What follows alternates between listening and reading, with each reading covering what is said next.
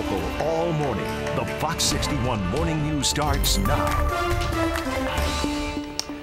And right now at 6 o'clock, the search continues for a child who has been missing now for more than a week. We'll tell you what you can do to help find him. And it is Inauguration Day here in Connecticut. We're going to have a look ahead at the festivities planned and what this year's legislative session could hold. Also, drama unfolding in the U.S. House of Representatives. Three votes taken, still no Speaker of the House. We'll tell you what's expected to happen this afternoon. Good morning. Thanks so much for being with us here at Fox 61 mm -hmm. at 6 a.m. I'm Erica Arias. And I'm Tim Lammers. Good morning to you. First things first, we just want to mention Salem public schools mm are actually closed today because of low water pressure right now. Please keep that in mind. There's also a, uh, a notice about that up on the uh, Salem Public Schools website, too, in case you need more information. But again, Salem Public Schools, no school water yeah. pressure problems. I'm sure kids there are pretty happy about that. Probably, Parents, yes. maybe not so much, yeah. having to scramble, but you know what? Hey, and the kids get an extra day.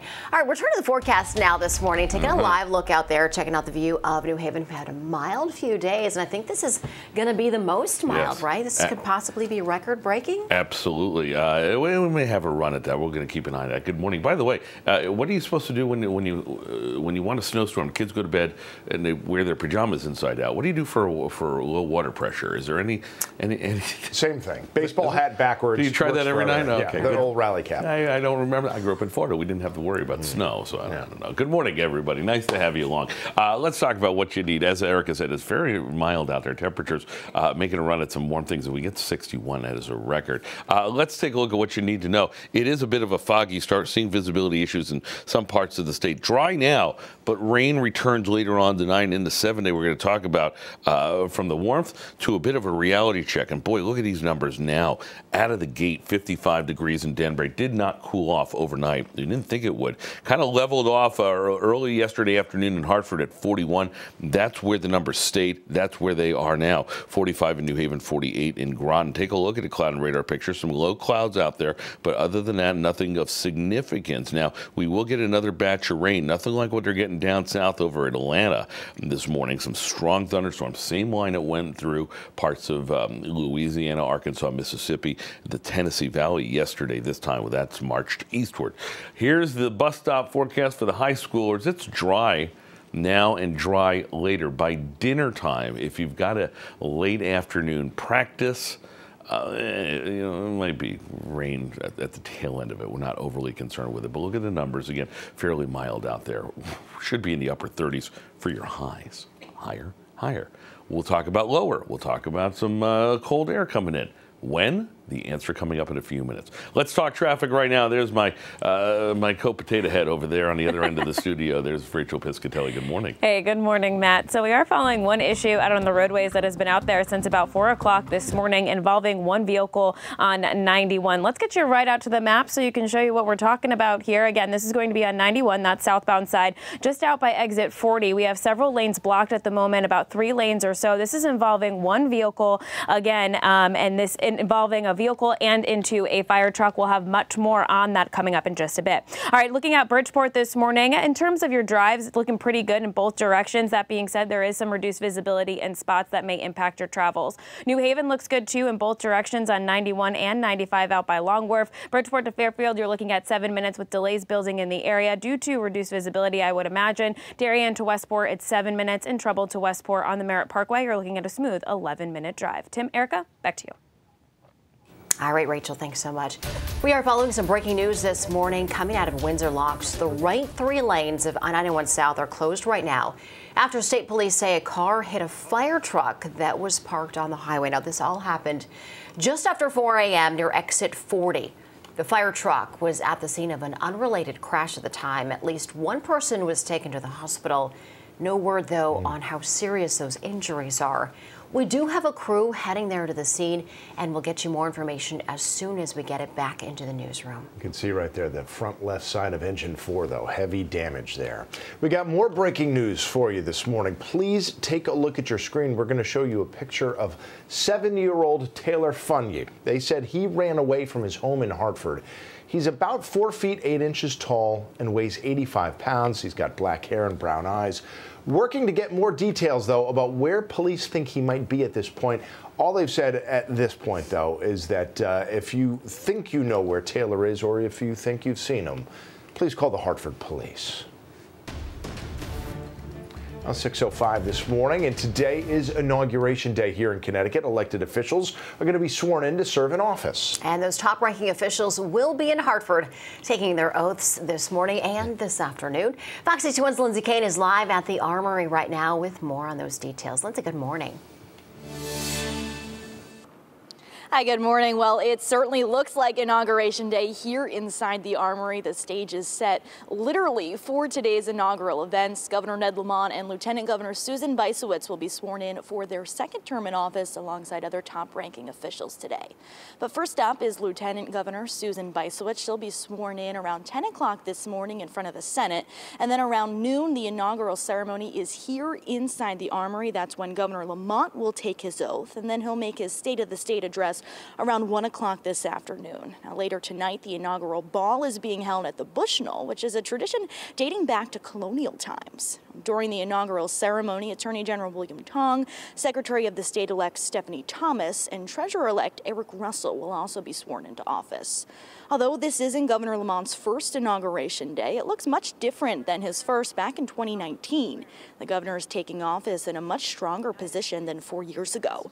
He's more popular, winning in November by a larger margin than in 2018 and securing higher approval ratings. The governor also has a Democrat-held state legislator behind him, which will help him get his legislative agenda passed, an agenda that Sacred Heart professor Gary Rose says should be an easy path forward. But there's speculation it could be his last. I seriously doubt that he's going to run a third term. And so I think he wants to probably do some really big creative things um, within the next four years. Ned Lamont now, I think, is going to feel in many ways almost unrestrained in his speech today, he'll outline his agenda that will likely be focused on tax reform, infrastructure improvements, and fiscal security. Now, again, today's first inaugural event is set to happen at 10 o'clock this morning, and then the inaugural ceremony here at the Armory at noon is open to the public, and there are no tickets needed for that. So we'll continue to keep you updated on today's events on air, online, and on Fox 61 Plus as well. Live in Hartford this morning, Lindsay Kane, Fox 61 News. Hi, Lindsay. Thank you. And of course, state lawmakers are also returning to the state capitol this morning for the start of a new legislative session. And Fox 61's Angelo Bavaro is at the Capitol in Hartford this morning with more on the big issues on the agenda that could affect all of us. Angelo, good morning. Erica, Tim, good morning. And we can expect that lawmakers will continue those conversations around those big issues that took focus during last year's session, things like tax cuts and the economy as well as gun reform and other issues that are also expected to get some attention during this year's session.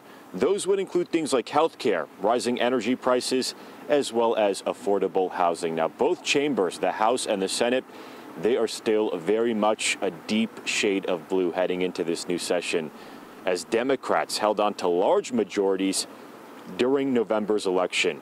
Among the big responsibilities this year for lawmakers is approving a new two year state budget. And that work comes as Connecticut is sitting on an historic surplus, which means you can expect lots of debate about which programs and services to fund, as well as potential tax cuts.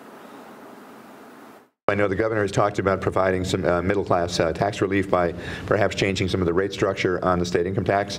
Um, we're certainly going to consider that. One of the things we'd also like to consider is um, expanding our the uh, or making sure that we continue the state child tax credit. When you have a government that has a budget that is taking in more revenue than it needs, and still meeting, and we had a plan putting forward that would still meet all the obligations with regards to pension and debt, uh, we need to start looking at how can we help Connecticut families.